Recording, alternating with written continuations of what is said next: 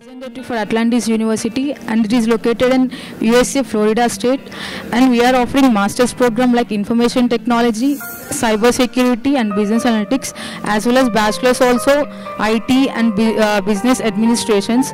And uh, here we are providing the scholarships also like nearly 2000 to 4500 dollars per year based on the academics percentage.